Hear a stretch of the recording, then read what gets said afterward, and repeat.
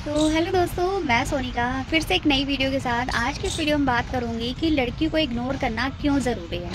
तो अगर आप रिलेशनशिप में हो या फिर किसी लड़की को पसंद करते हो, ठीक है, या किसी लड़की के साथ रिलेशनशिप में आना चाहते हो तो आपको ये चीज़ पता भी होनी चाहिए कि जितना लड़की को प्यार करना ज़रूरी है, उतना ही उसे इग्नोर करना भी ज़रूरी होता है।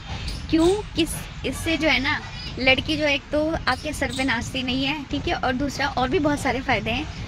तो वो चीज़ आपको पता चलेगी जब आप इस वीडियो पे बने रहेंगे और एंड तक देखेंगे। हाँ। रहा नहीं जाता। तड़प ही ऐसी है ना। नए हैं तो प्लीज़ आपको सब्सक्राइब ज़रूर कर लेना। तो आइए वीडियो स्टार्ट करते हैं।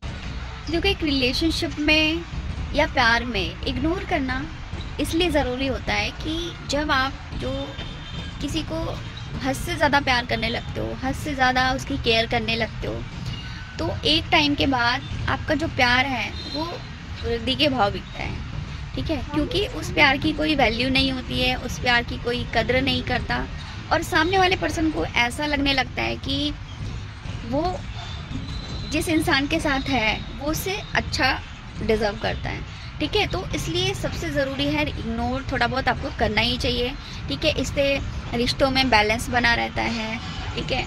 लोग एक दूसरे की वैल्यू को समझते हैं, प्यार बना रहता है।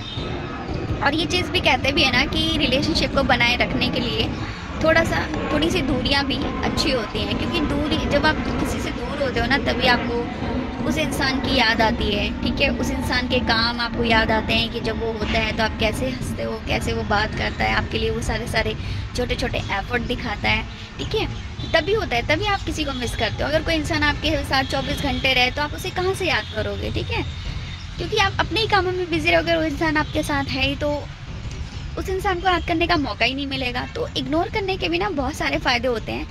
तो ये चीज़ आपको समझनी है कि अगर आप किसी को अपनी लाइफ में लाना भी चाहते हो या ऑलरेडी रिलेशनशिप में हो तो थोड़ा बहुत इग्नोरेंस आपको दिखानी चाहिए।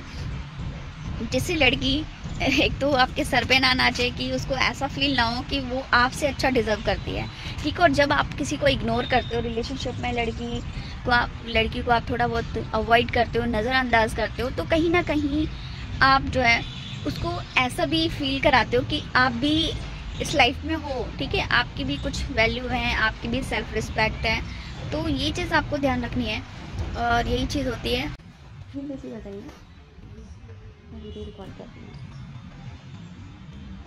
वीडियो बनाती हूँ। और जब आप रिलेशनशिप में अपने जब किसी से प्यार करते हो, उसे इग्नोर करते हो तो इससे आपका रिलेशनशिप बहुत ही स्मूथ चलता है। किसी किसी भी इंसान को ऐसा फील नहीं होता कि वो मेरे लायक नहीं है या मैं उसके लायक नहीं हूँ, ठीक है? क्योंकि प्यार बना रहता है डिस्टेंस से, एक दूसरे को। अपनेपन का एहसास होता है, कभी फील होती है कि यार, वो इंसान मेरे पास नहीं है, ठीक है? तो उस इंसान के लिए आप एक ज़रूरत नहीं, ज़रूरी हो जाते हो, ठीक? तो इसलिए कभी कभी लड़की को इग्नोर करना भी ज़रूरी है। तो आज की जो वीडियो यहीं पे ख़त्म होती है। वीडियो अच्छी लगी वीडियो को लाइक चैनल को सब्सक्राइब कर लीजिए। अगली वीडियो में नए टॉपिक के साथ।